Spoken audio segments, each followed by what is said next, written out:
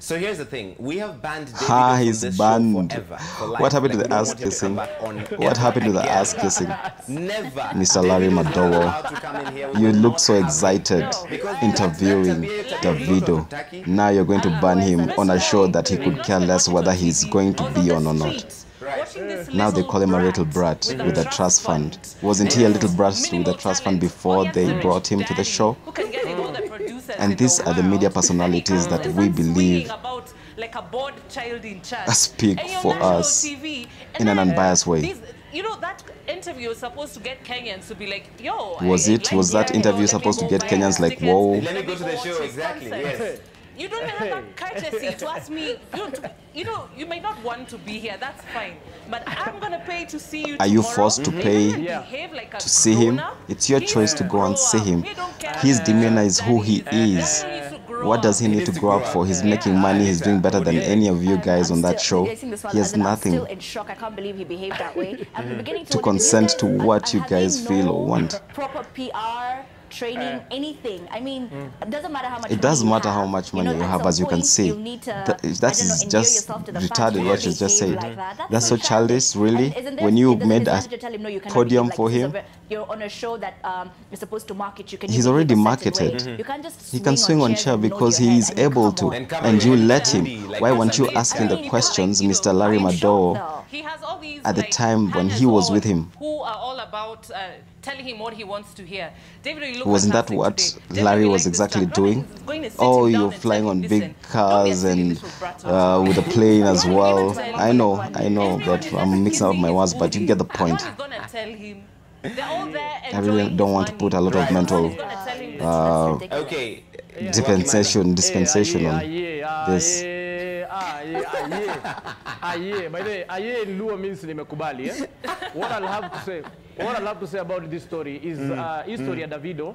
I, I felt like a woman for the first time. Nili feel like a woman when a man just comes, anafanya vitu dakika moja, alafu anaenda malipenda anaenda. 37 minutes.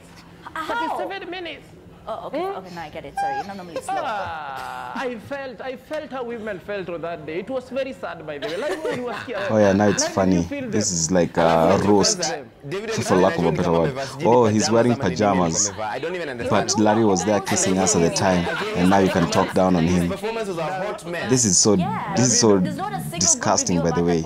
And this is the trend, the biggest show ever. Like a million guys on stage. Apparently. And everybody was singing For the youth. I mean, if I paid to see you, I've paid to see you. Please come down, lip sync, sing. As much as I love your music, who are all those other guys? I don't know them. Why are they there? That's his people. You called him there. He comes with his people. And Duh.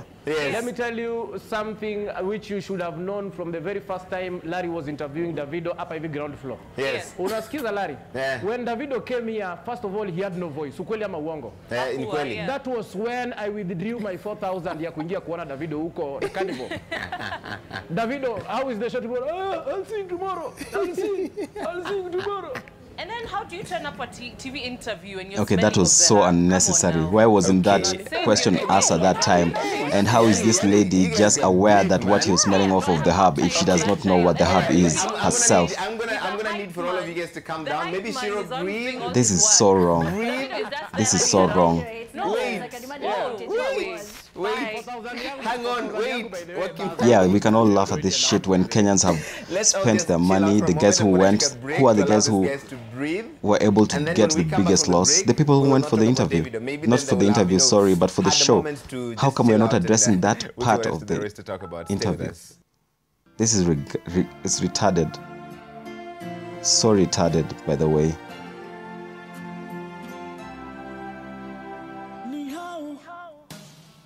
All right, here's the thing. You guys Oh, are we are sadists. sadists. Sadists. They are sadists. Um, here's some of the you tweets. Look at the grin Um, on David Larry's Chelsea. face. He seems to be eating up.